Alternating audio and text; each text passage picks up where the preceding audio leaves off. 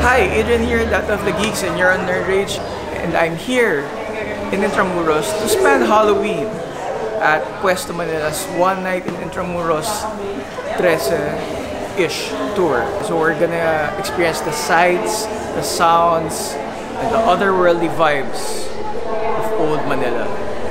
So let's check it out.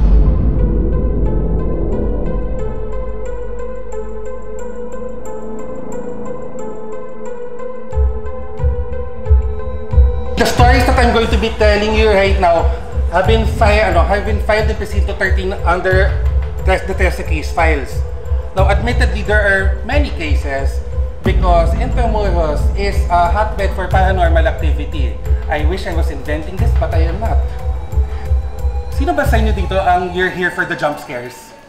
Because this is not that kind of tour. I am not going to stage a tour na pagdating natin sa location, biglang may tatalon.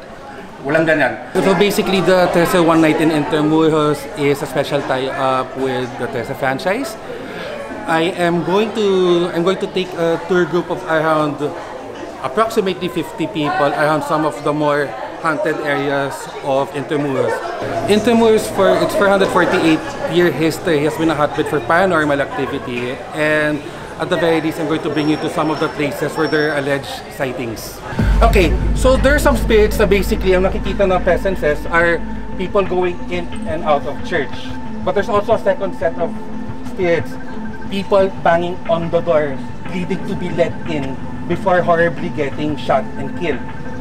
Because San Agustin is the only standing structure left from ano, Intramuros after 1945 and as such has the only vestiges of that kind of presences here. The, uh, the presences are different.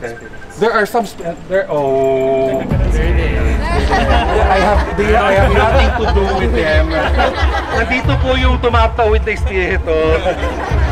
Naka-label po si Santa Monica. Huwag natin ganyan Um, I started doing tours because Carlos Seldan left for Madrid.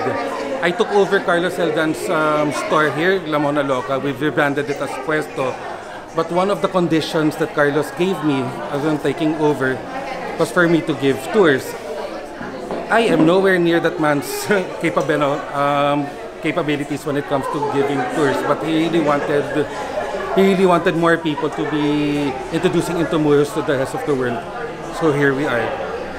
I guess my angle is that since I have other fandoms and other interests, I'm trying to look for ways and means of connecting these fandoms and interests and bringing them to Intramuros, whether it's tours or activities or whatnot. A priest by the name of Vicente Sepulveda was murdered inside the convent. Who would murder a priest in a convent kung hindi ibang mga pahe? So what they did was when they found the body, they took the body, brought the body over, you know, over to that room, there. Just imagine this, ha? Okay, you're entering, you're minding your own business. So you go inside, you see a dead priest pointing at you. The pressure is there. So admittedly, okay. So according to them, they found the guilty party and they had them swiftly executed within church grounds also. So that's why there is a weird energy to this area. Um, one thing that we I want to be clear here is that this was not this was not a group of nipahats. They found a fledgling trading post, very wealthy. We were actually Muslims. We were under the Rajahnate of Brunei. And what did the Spaniards do from 1571 to 1573? They burned down everything and destroyed an entire civilization. You want to look for ghosts. I wonder why we have not seen ghosts of pre-colonial Filipinos here. Because the murder rate done was incredible. And why here? Because this was ground zero for one of the skirmishes of the the Spaniards and the pre-colonial Filipinos under Rajah. So I'd rather look for that. Yeah. This was where the Ateneo de Manila used to stand. The church and mission house is where the structure was rebuilt. It's now a museum, but it used to be one of the most beautiful churches in Intramuros with the best woodwork. Oh, here's the story now. 2018, an event, an event called the Manila Biennale was staged in Intramuros. It's the first of its kind and hopefully not the last. So, a photographer, of which I know personally, but will not be named, was all alone here at 4 in the afternoon taking photos. And the best way to take photos, can you just imagine how hel high helmets like that? So the best way to take a picture of those helmets was to lie down and take a picture here. So as she was taking the photos, so violently that her camera skidded. When she stood up to look at there was absolutely nobody inside the room with her. The story behind that was that San Ignacio Convent was one of the places where the Japanese hold up um, people herded Filipinos here to be killed en masse.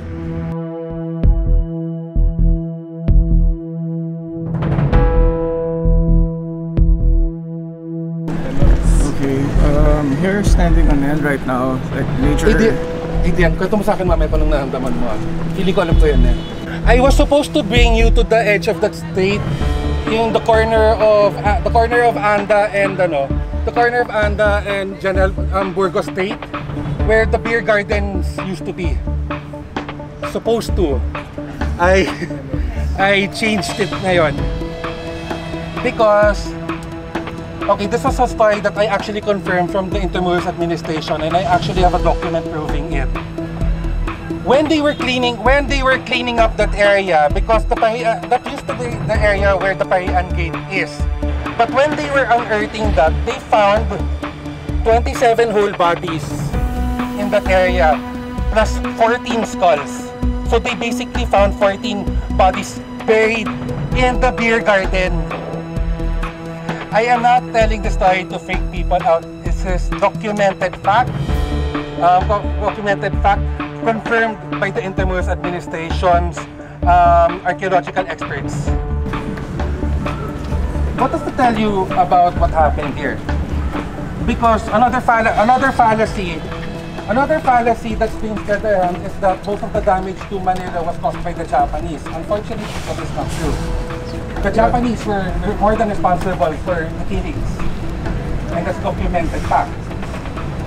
But the Japanese did not have bombs. They did not have the air support. They did not drop bombs in Intramuros.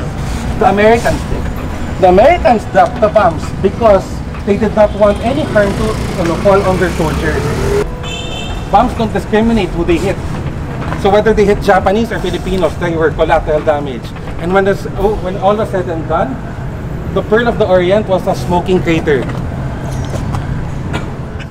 So the aduana traditionally was the customs house, and this relates back to our history with the Manila Acapulco galleon trade, which honestly is a bigger deal than we thought, ha? because because of the galleon trade, Manila, along with Acapul- Acapulco and Madrid, were the first truly global cities in the world, because that was the first time that Europe, Asia, and the Americas were united by trade and commerce.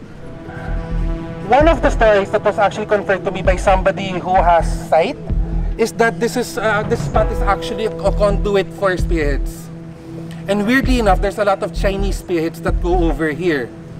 Which is kind of weird because the Chinese presences are actually on the other side of the river. It's no accident that Binondo is on the other side. Binondo and San Nicolas. The fact that there are Chinese spirits hovering dito coming from the river this one serves as a conduit for it. The creepier story that I've been hearing dito is that there are certain circumstances that people can swear that they hear children running around and laughing inside.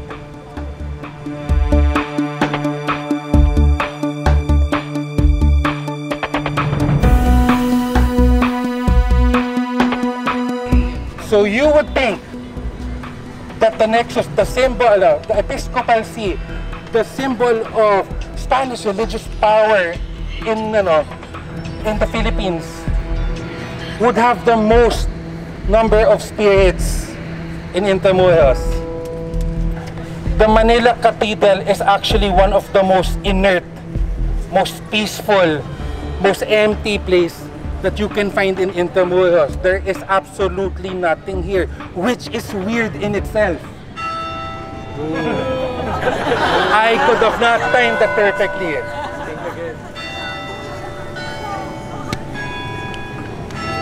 The church agrees. The church agrees. Most ghost sightings you see are residual energy, which is most of what is in Intramuros. Residual energy. However, in the Palacio de Gobernador, This is actually second to Fort Santiago, one of the most non-peaceful places here. This was built in 1975 and currently houses the Comelec, which in itself is a bible for all negative energies. Among others, 80 priests were killed by the Japanese by firing squad. And some people can swear that they still hear the crack of rifles in this spot around a certain time.